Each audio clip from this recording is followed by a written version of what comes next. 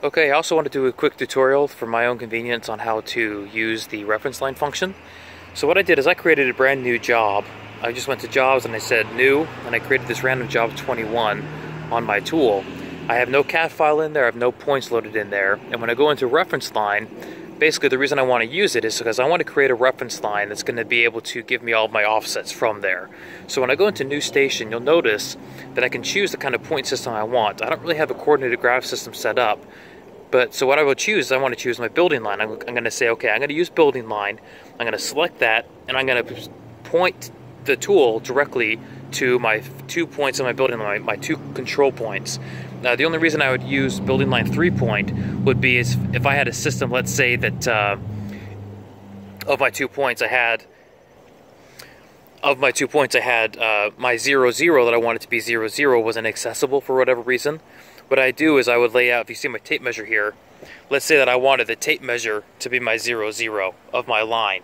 What I would do is I would uh, first record the point way down there, any anywhere along the line that I knew was marked, I'd record it as point one then I'd go all the way down here along the line. If I had the, I would have the chalk mark to point two. And then because I needed this to be my zero zero, I would go along this line, if there was a line on the ground, to make my point three. And what it would do is it take the point down there, the point here that I measured as point one, and the point, of course, right over here, and make that point right there my zero zero. So I'd go zero zero, and that'd be my positive north, that'd be my positive east, this way would be my, my negative east, and of course, that way would be my negative north. So that's why you would use three point. Uh, not, not many people use it unless that, again, the zero zero point they want specifically for zero zero is inaccessible. So for pur purposes of this for myself, I'm going to go to building line, and this is basically building lines using two points. Okay, and my setup location is anywhere. That's the only option I have other than over a point. The only reason I would use over a point is if I purposely set my total station up directly over my zero zero, and I was okay having that as my zero zero reference line. Okay, so I'm going to say anywhere. I'm going to say okay, and now I'm set to go. I'm going to say okay, let's start this going. Now notice the first thing I see is I see my um, height of rod. The only reason I really set my height of rod is if I'm if I know I'm going to be moving my rod up and down throughout my job site. I just care about horizontal X and Y coordinates right now, so I don't really care about my Z, so I'm not going to set that. Um, it gives me my angles uh, of my of my tool. I know that my tool is basically pointing at a 90 degree angle. Um, I know that my horizontal aperture, meaning the way it's turned from whenever the last time it was set up, is about 67 degrees. That means absolutely nothing to me right now for this purposes. So I'm gonna, the head unit's gonna follow me, and I'm gonna go to my point one. I went ahead and leveled my rod, made sure I was level. And for my purposes, I'm just gonna use this tape measure as a, an arbitrary reference line. I went ahead and just set up on the nine foot mark. Doesn't matter because essentially when you're on a job site, these are, it's, to be marked the line that you need to go on. And when you're in your POC 200, if you had a CAD file in there, you could actually select the line you wanted to go to, go to the different points of that line, and you could start using that line as your reference line. But for me, because I don't have a CAD file in there and I just want to do my offsets from this line, I'm going to say, okay, there's my point one. I'm going to go to my tablet. I'm going to say measure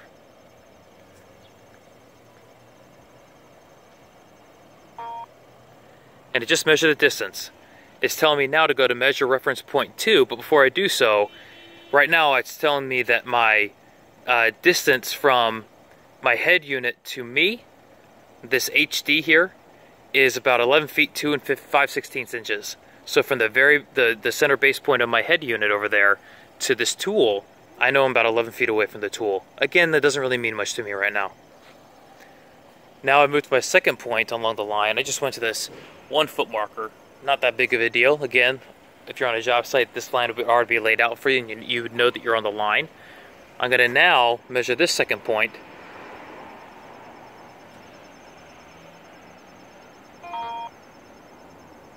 And now I know that from this point, I'm about 11 feet 10 and 3 8 inches from that head unit.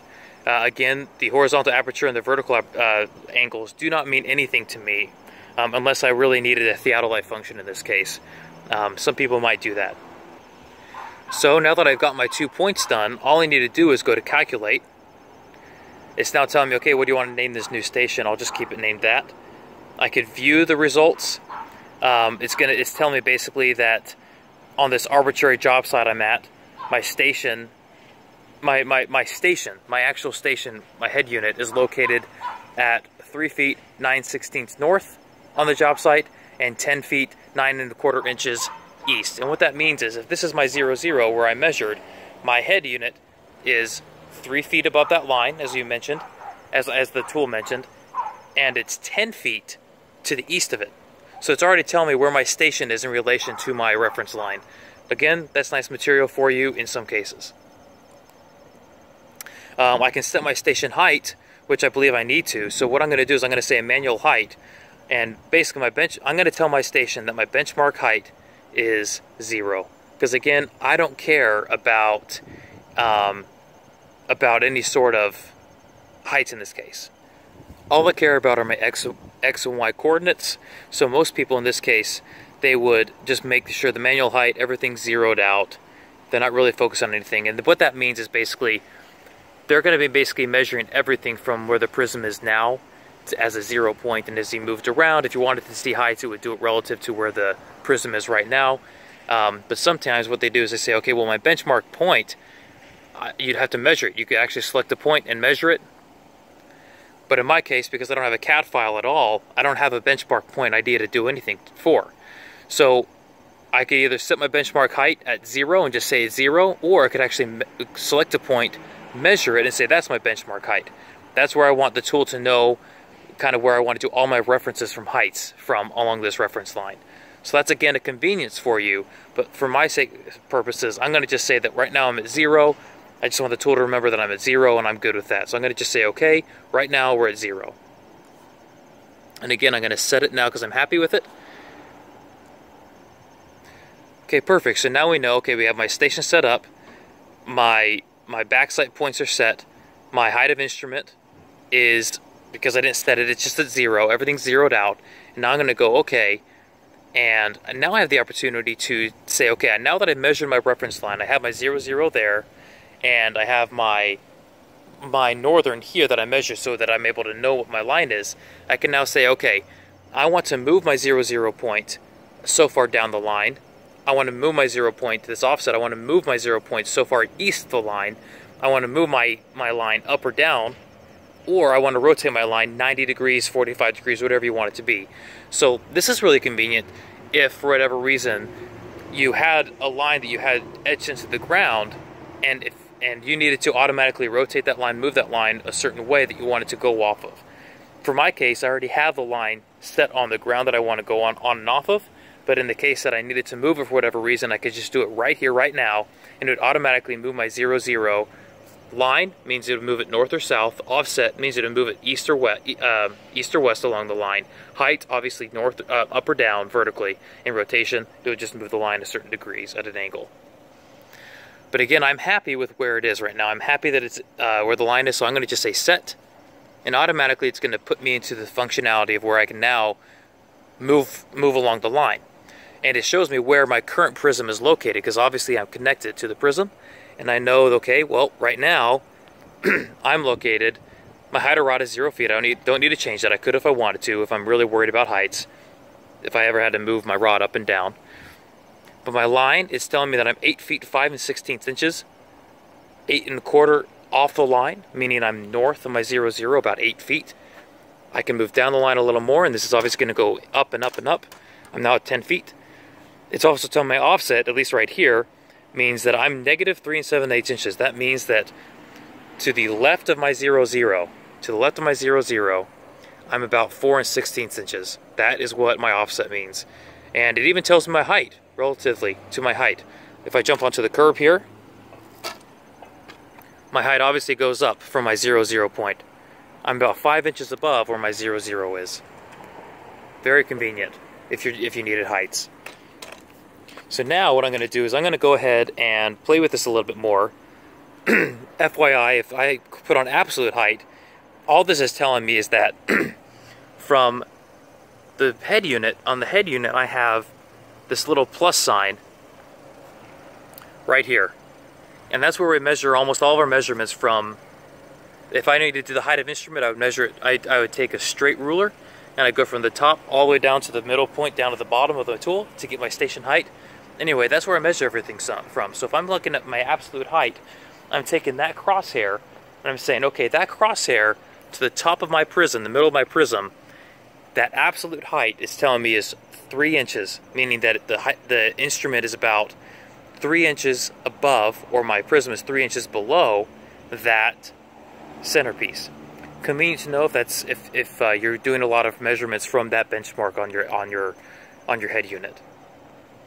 Another nice thing to realize on here is I see the point to line.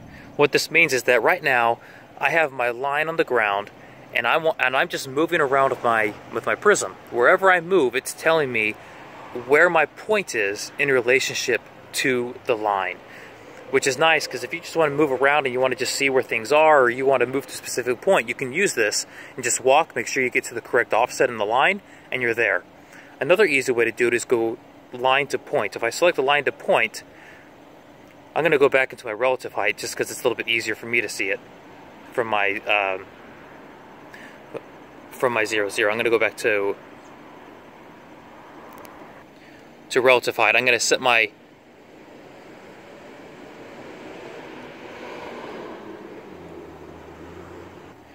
I'm going to set my relative height back on and you'll notice that it's going to tell me automatically that my relative height is uh, almost an inch, meaning I'm about an inch uh, below where my my zero zero was. That's what it's that's what it's telling me. Again, if I go to absolute, I'm three inches below the head that point of the head unit. So I'll go back onto relative height, just for the sake of this purpose. I'm going to go to line to point, and I'm going to say, okay, I want to go 10 feet exactly down the line along my northern. If I wanted to go south, I would just make that a negative. I want to go 10 feet up the line. I want my offset to be three feet. And again, this is three feet to the positive east. If my zero zero is there, three feet positive would be that way. I'm going to say enter. And now on my height, let's say if I was dealing with heights, I would say zero, or I would say whatever height I needed to be at along that point. But for now, I'll just say zero, because honestly, it doesn't even matter to me. I could have left that at whatever it was before. So I say okay, and now you're going to see this screen, it's going to pull up, and it's going to tell me exactly how I get to that point It's telling me that in, in relation to my station, I need to go left. I need to move to the left about two feet, two and one eighth inches, and I need to move towards the station about three and a half feet. So I'm gonna just start moving, play with my tool, and notice once I get close enough, a graph's gonna pop up, and now all I do is I try to get it within that bubble and get as close to my uh, tolerance level as I can. Now for the sake of the video, I'll just pretend that I'm there. But notice I, if I needed to be more precise, I would just move the rod a little bit more, maybe two or three more times until I got that perfectly on that point. I'd be able to stake it out and know that I'm exactly 10 feet. I'm exactly 10 feet um, and 3 feet. 10 feet north, 3 feet off of the line. So now I'll go, let me show you one other function. I'll go back here for a second. I'll, I'll, again, I'm setting my line at 000, meaning that I am using this exact line all right? Now notice what happens if I put my offset at three feet. Again, the last point that I had, I want it to be three feet off the line. If I say enter, I want, that means that I'm moving my, my line three feet from that first zero zero that I made. I'm gonna say set.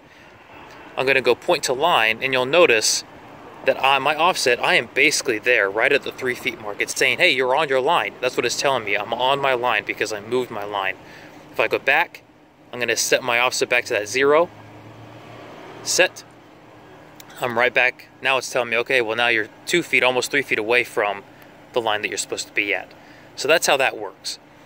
Um, and again, the height, that's all relative to my zero, zero. I'm one inch above where my zero, zero is.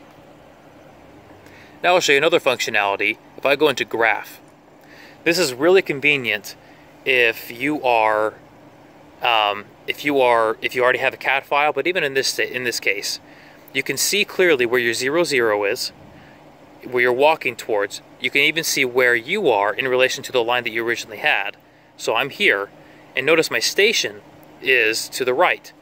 So one thing to remember is that the tool itself is going to set up on the XY coordinate plane. Even though I'm actually facing my station, you can notice that the way to read this graph is it takes your it takes what you laid out on the ground. It doesn't matter where you're standing. It's just saying, okay, your zero zero is here. You went north here. You're standing you're standing right here in relation to that. And your station is to the right of your line. Even though with the way I'm standing, uh, the way that the way that you know I, this isn't turned to the way that I'm standing. I just need to make sure that that's how the that's how the tool sets it up. My zero zero at the bottom, and then it shows that I'm going north positive, and then where the station is in relation to that line. Very convenient, especially if you're going to be doing measure and record later on, um, and you need to stake out some points from that from this building line. So now notice if I go back, let's say I go back into the reference line screen, and I want to create a a new line. So I'll go into reference line. I'm going to say new station.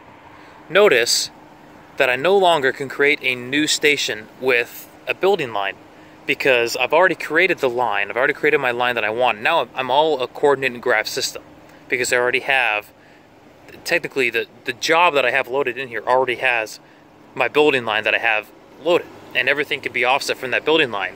So let's say I want to create a new a new line off of coordinate graph system. I press OK. My setup location is anywhere. If again, if I wanted to move over a specific point, I can move my station over my zero zero or over another, over another backside point on my on my drawing.